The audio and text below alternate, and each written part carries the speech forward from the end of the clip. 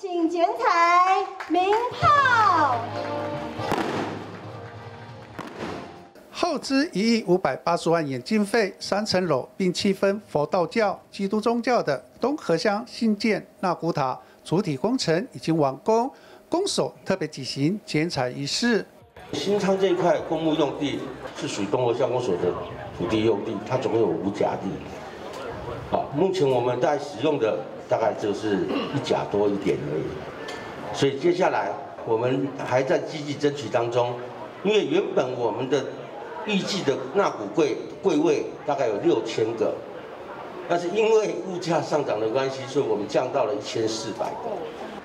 东河乡都兰新昌纳古堂建物及纳古柜历经长年岁月，日渐老旧，同时饱和。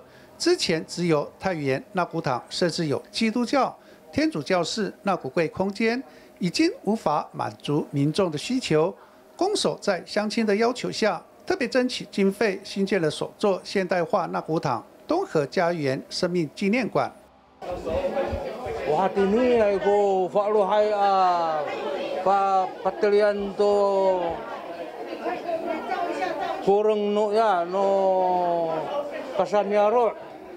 Ninian ko hanana ya taini ah meneng neng tu na patelian ba kapah.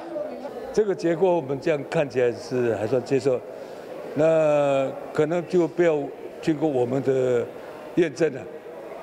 这几天都有地震了，已经帮我们验证了，所以这个结果看起来都很好，很豪华。这样对祖先来讲的话，真的是给他们一个很好的一个地方了。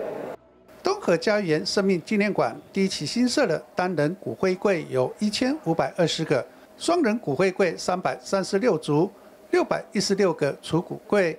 公所表示，将持续争取经费，设置到八千多个柜位，满足民众安放先人的需求。另外，为了促进环保有序性，园区也特别规划环保自然藏区。